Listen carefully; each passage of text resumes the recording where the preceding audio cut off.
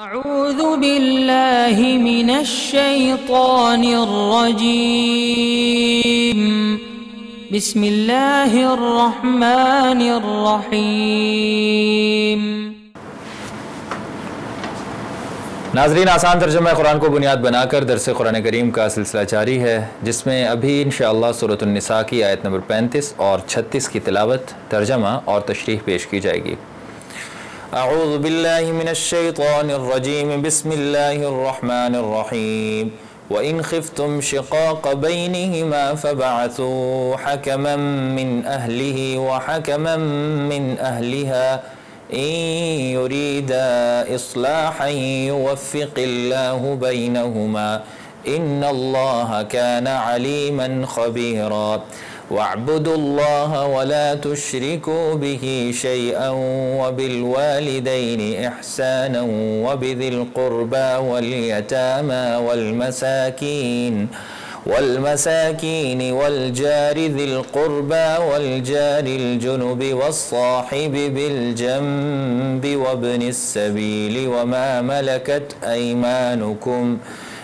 वलजार जुनुब वस्साहिब बिलजंब वबनिस्सबील वमा मलकत ऐमानुकुम और अगर तुम्हें मियाँ बीवी के दरमियान फूट पड़ने का अंदेशा हो तो उनके दरमियान फ़ैसला कराने के लिए एक मुनसिफ मर्द के ख़ानदान में से और एक मुनसिफ औरत के ख़ानदान में से भेज दो।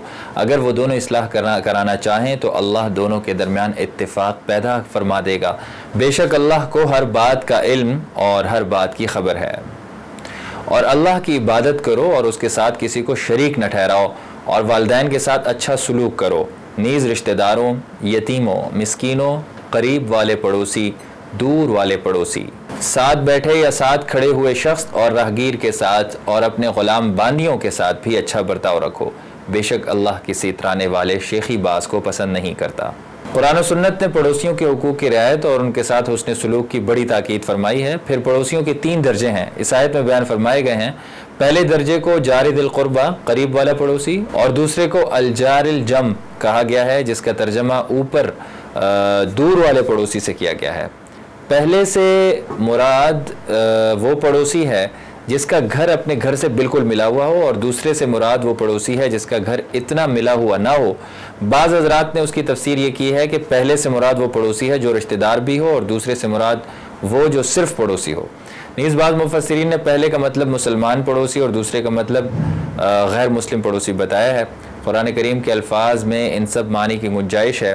ख़ुलासा ये कि पड़ोसी चाहे रिश्तेदार हो या अजनबी, मुसलमान हो या गैर मुस्लिम, उसका घर बिल्कुल मिला हुआ हो या एक दो घर छोड़ कर हो, उन सब के साथ अच्छे बर्ताव की ताकीद फरमाई गई है। ये पड़ोसियों की तीसरी किस्म है, जिसको कुरान करीम ने साहिब बिलजम से ताबीर फरमाया है। इससे मुराद वो शख्स है जो आर्जी तौर पर थोड़ी देर के लिए साथी बन गया हो।